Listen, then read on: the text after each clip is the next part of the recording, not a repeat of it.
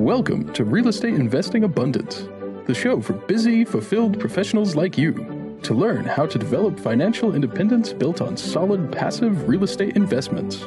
Now, here is your host, Dr. Alan Lomax. Hello, enlightened investors. So happy to be back with you again today. And we're going to take a look here at how a Silicon Valley entrepreneur and a high fashion runway model are breaking barriers in the commercial real estate space so you can do the same. Andrea Cwik and Rachel Grunn are full time real estate investors, syndicators, and leaders in the industry with ownership in over 1,400 apartment units. And together they are co founders and managing partners of Good Good Investing. They have established and they are empowered entrepreneurs with financial freedom through passive real estate family investing here. So, Rachel and Andrea, Andrea, please take us into the show and share a memorable experience from your formative years that may have helped you to be who you are today.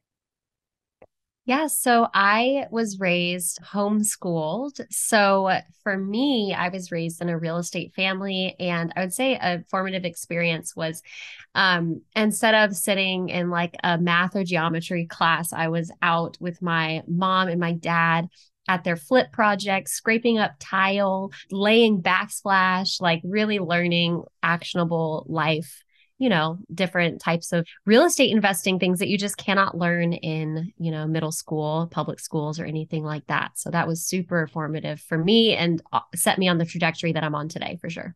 Wow. Great experience. How about you, Andrea? So I was born to a mom who is from Ecuador, and I really didn't grow up learning about money or investing, but I knew that my mom worked really hard for what she had. I remember not having a car until I was like nine years old or something. So later on in life, I made it a priority to really learn about money management and investing. And um, that's been a pivot for me. And it's been great education and now very passionate to teach others about it. Well, wonderful. Thank you for sharing with us a bit about your lives here. Well, you say that investors should not get blinded by projected returns and that we should always be looking out for red flags to consider before deciding what we are going to invest in. So, what do you mean by that? Well, you know, during COVID, we were seeing really extreme rent bumps. I mean, in some markets, it was as high as 22% per year. And I think moving forward, I don't think it's realistic to consider that that kind of rent spike is going to continue. So, what I mean by that is red flags to look for before you invest is make sure that underwriting is, is conservative. Even though we've seen an unprecedented past couple of years, frankly, no one's too certain what the next couple of years are going to bring. And so I think it's really important that people don't get blinded by projected returns, but just make sure that the the people that they're considering investing with have done their due diligence and are being conservative with their projections. Yeah, it's always a good idea to go on the conservative side. It's always nice to have a nice surprise if reality exceeds projections. It's always very, very disappointing the other way around. So, yes, under promise, over deliver. Yes, absolutely. Good advice there. Well, due diligence for passive investors. What does that entail? And well, first of all, distinguish for us the difference between a passive investor and an active investor. Yeah, so an active investor is also known as a general partner. The general partner is a team of individuals who are looking for deals to acquire and they're analyzing the deals with different goals in mind. One is they're looking for a place where there where there's economic growth. They're also looking at a place where people are moving to and they're looking for a landlord friendly area. So we analyze 100 deals uh, to find one. That's the general partnership team. They also take the business they they create a business strategy and they also oversee the property management and also the execution of the business strategy So that's the general partnership team. And then the passive investors are really there as capital partners with the, the general partnership team. And they deploy their capital and they get informed on a monthly basis through reports from the general partnership team. And then they are passively investing. That means that they just collect the returns off of the performance of the asset. And so, thank you for that, Andrea, uh, explanation of that. So, in terms of the passive investor, in their particular due diligence process, you just outlined what it is that an active investor goes through in doing their due diligence and coming to a deal and presenting a deal. Obviously, that is not something for a passive investor. So even though we call it passive, there are certainly things that passive investors need to do to ensure that they're getting into a deal that is going to be financially successful for them. So, what are your suggestions for them in terms of their due diligence? That's actually a great question. And we were actually discussing that this morning, yeah. even like different questions to ask a deal sponsor or a general partnership team before you invest. I think it's important to know if they've been in that submarket before, if they've worked in that submarket, if they have properties there, if they have a property management team that they trust there. Also, we were talking about this morning, asking if they are creating a new LLC for that acquisition, because otherwise they could be inheriting problems from an existing LLC that they're buying into. So I think creating a new entity for each property is important as well. If you want to ask if how much, you know, they and their families are investing the property, you know, to make sure that they're putting their money where their mouth is and they have skin in the game as well is very important. And then, yeah, finding out that their business strategy aligns with your goals. If you maybe are looking towards retirement, maybe cash flow is a really big indicator for you. If you have a W 2 or a 1099 that you love, maybe it's the appreciation that's more important and not so much the cash flow. So just asking them those kinds of questions. And then also asking how they're adjusting their underwriting for inflation. Property management expenses are rising, and so are interest rates. And you want to make sure that they're stress testing for the uncertainties that the what I think the next 24 months are going to bring. Yeah, and I'll just add know your team. So know the experience of the team, um, like Rachel said, where they've invested before. And then also ask for some deal samples and see what kind of returns they've done in the past. Ask for the good and the medium and the ugly and see what you get. Yeah. Good advice there, because even the most excellent operators are going to have disappointing returns from time to time. So, yeah, that's a good yeah. idea. To, and if they at. say that they don't, they either have not been doing it long enough or, or they're lying, and both are bad. yes, and both are, are terribly bad. I think probably the mo- the worst one is is the inexperienced team. Yes, uh, who has a wonderful story. but, yes, correct. But no experience. Well, uh, you say that time, the great equalizer. And I've heard that so many, many different times in many different ways that really the only scarcity is time. And all of us have restrictions on our time. And so it's important to use that wisely and to the best of our abilities to make the best lives that all of us can with the time that we have here. So, how do we make the most of our, our 24 hours? And what are some of the things that you are doing to ensure that you are using what little time you have on this earth to the best advantage? So, what we mean by time is the great equalizer is it doesn't matter where you come from or where you are. Um, everyone has 24 hours in a day. And like you said, it's the one thing you can't buy or sell. So it's really important that we do use our time to the best of our ability. And we're so passionate about that with passive investing because it is exactly that. It's a time, it's a time freedom. It's a way to invest without spending any extra time that frankly we don't have and our investors certainly don't have. So um, Andrea and I, we have families, you know, we have passions and hobbies.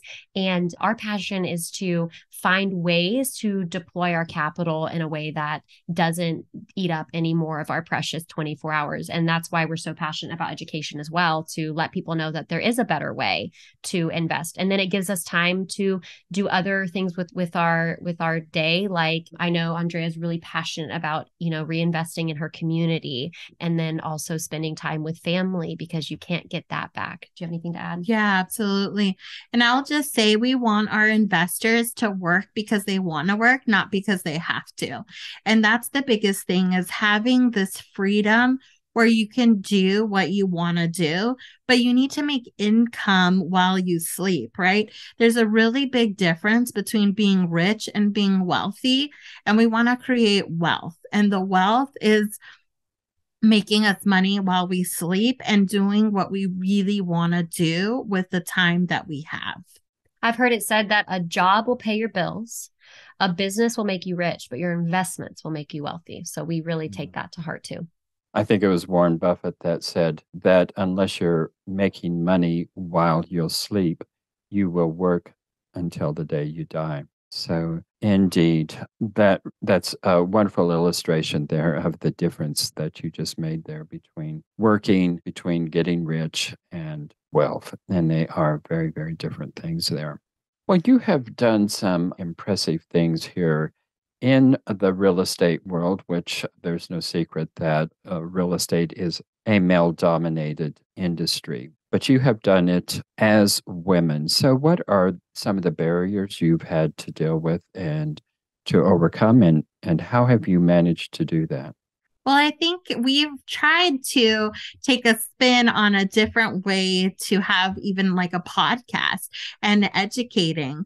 You know, a lot of financial shows are pretty serious and we're trying to put a fun spin to it. So as women, we're coming up with a different model for educating. And then the other thing is we really look for ways to I mean, we look for other ways to encourage women to do the same because I feel like in this industry that is dominated by men, sometimes even if people don't know it, we do start off at a deficit when we're talking to brokers. That's what and, I was gonna say. Yeah. I mean, it's just something, yeah. I just think that they feel the need to over explain, or, you know, I just feel like sometimes we're under what is the word? Underestimated, right? And um, we love to change the narrative there and surprise people. I think we've surprised a lot of people in our time together as two women dominating the commercial real estate industry. And it's exciting, honestly. Like, I'm not discouraged by it. I love surprising people and being underestimated because it just means that mm-hmm. I can show them like what we're really made of. And we're just hope that we're just blazing a trail that other women can get encouraged by, you know, because we are mothers. It's not real estate or being a mom. It's not mutually exclusive. We can do both well.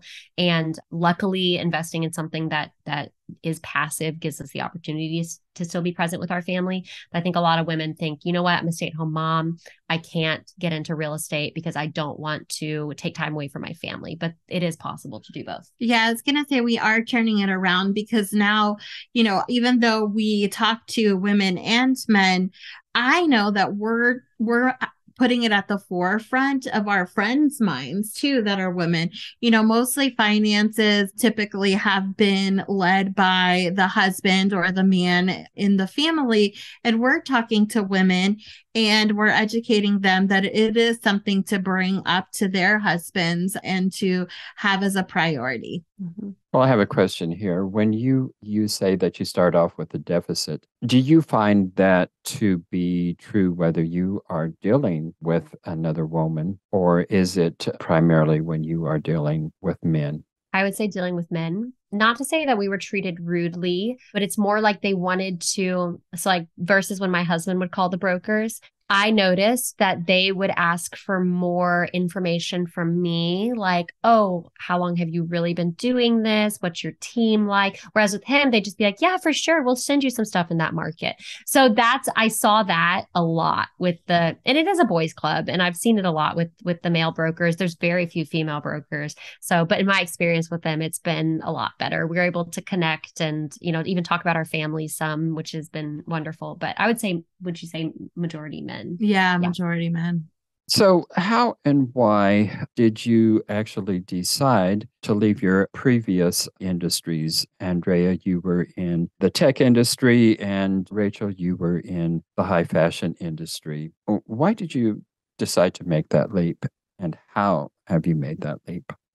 Yeah, so I remember distinctly there was a day where I called my husband and he was working at high tech and I was too, but I was already home with the kids. But I called him and I said, you know, what time are you coming home? And again, he answered with, I'm going to have to stay at work.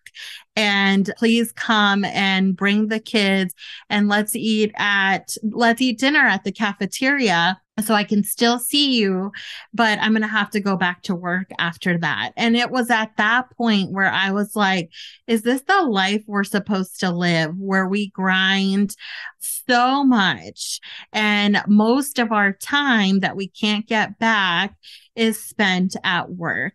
And I decided at that point that there had to be a better way. And so I really looked at people just that I looked up to that were wealthy and was seeing what they were doing. And they were all invested in commercial real estate and specifically multifamily. And so it just opened up our mind to really concentrate on getting out of working and grinding and even the stock market and pivoting to real estate. Yeah, that's good. So, my story is interesting. So, I started working at 15 years old as a um, model here in Dallas, Texas. And then when I was 17, I was deciding whether to continue going to college or move to Europe and I got a contract to go to Paris, France for a year.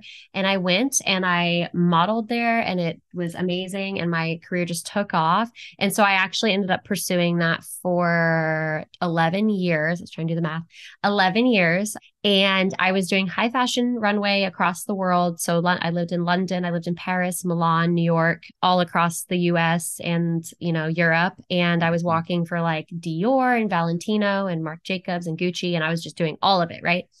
And I, you know, most people don't have disposable income at 18, 19, 20 years old. And I did, fortunately. And because I grew up in a real estate family, my parents were very, you know, outspoken about like, you have to start investing that money. You don't know when, you know, they're going to stop calling.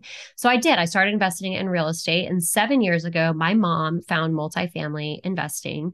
And she told me, she was like, Rachel, you have to sell your single family portfolio and put it all into multifamily. And I just trusted her. And this was in 2015. And that's exactly what I did. I was still modeling and acting and doing all that. And I was living in Los Angeles in 2020. And of course, COVID happened. My industry completely dried up overnight to where, I mean, my husband and I were living on savings because there was no modeling and no acting. You can't work from home doing either one of those things. And, you know, I'm in my late 20s now. And I was like, well, I'm going to have to start thinking about a plan B anyway, because there is an expiration date for modeling. So that's when I said, you know what? I want to start a family. This is kind of the perfect excuse to press the reset button.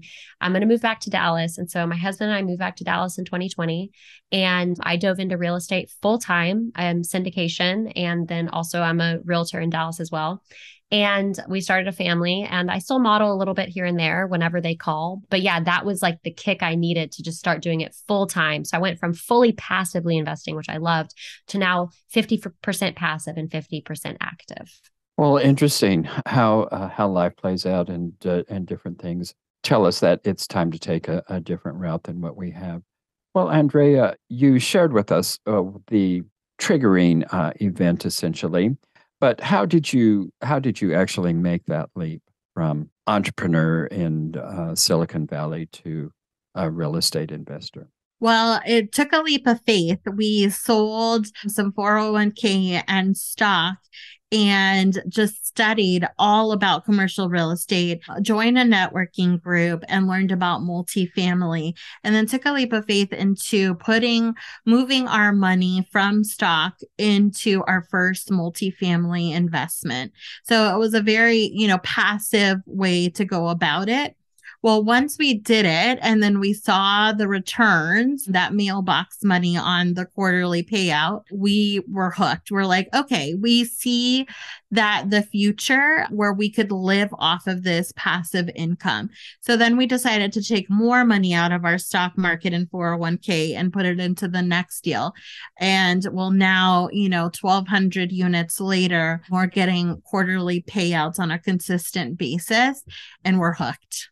Yeah. Well, uh, I mean, so many different ways really to get into real estate investing, and and obviously you all took uh, the passive way to do that, which leads to the next question here, because I think passive investing is a good way to get educated, particularly in commercial real estate investing. As practical and as a really a smart way to get into that, there are so many people who have no idea that that you can even do that. People think of real estate investing as purchasing uh, the rundown house down the road and and renting that out, and that's that's the way to get into real estate.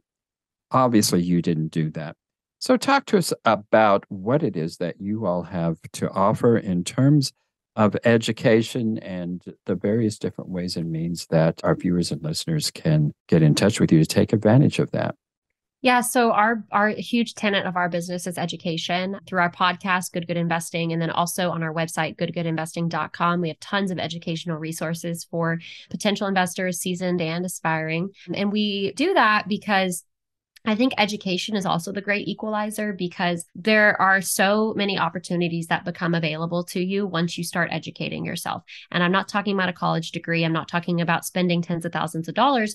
I'm talking about, you know, just taking advantage of the resources available to you. So because someone educated us along the way. We want to pay it forward essentially mm-hmm. and let people know that there is a better way to spend their time and money and they don't have to beat the pavement in single family investing in order to take advantage of real estate.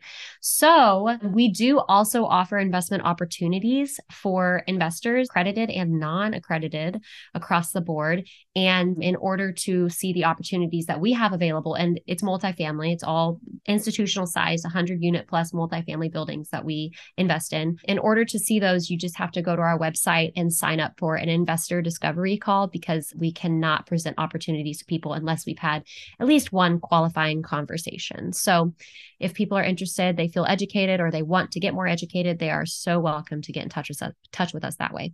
Wonderful. And all of that information will be in the show notes. And uh, there are multiple ways to connect with uh, Andrea and Rachel. Well, one last question for you women before we leave today, and uh, that is share with us one of your most difficult setbacks in life. It could be with real estate or anything else. And how did you come through that time, and what were the major lessons you learned from that? I think for me, one of the most difficult setbacks was just overcoming my self critical thoughts just even before starting the podcast with Rachel, it was a huge leap of faith because I'm more of a shyer person. So to put myself out there and be vulnerable and educate and teach people was already so big for me. But I will say that when you push yourself and you overcome something that's really hard, or maybe it's a really big weakness inside of you, you will be so much more confident and there's so much growth in that. And that will propel you and possibly even change the trajectory of your life. Yeah, that's good. I love that. So, my biggest hurdle was I actually got divorced at a very young age at 23. And I had saved up a lot of money from modeling and I had a lot of money invested.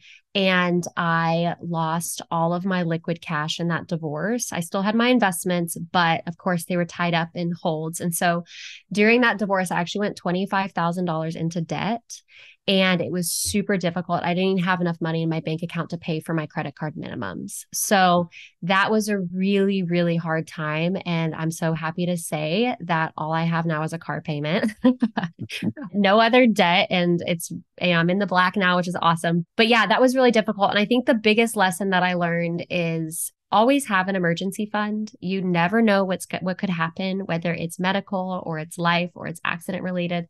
So I tell my investors like there's such thing as smart investing. Don't give us your last dollar. And even though maybe my net worth on paper was high, at the moment I was very desperate because it was not liquid in my bank account. And so I had wished that maybe I didn't put everything into investments. It's paid off since, but it was a very scary like 18 months, definitely. Yeah. Well, I said this was my last question, but we have time for just one more, and that is partnerships are so important in real estate. So, how did the two of you uh, become partners? take that. It's a good story. So, yeah, we were at a conference called the Fire Summit. And I remember Rachel's mom went to my husband because he's well dressed and asked about who dressed him, right? he is very well dressed. he he is he knows how to do fashion, but he gave me some credit. And so she introduced Rachel and I together and we were local, we're women in, a, you know, a room filled with men. And so we decided to just meet up for coffee. And from there, we decided to start a podcast. Mm-hmm. And we've just been the best partners.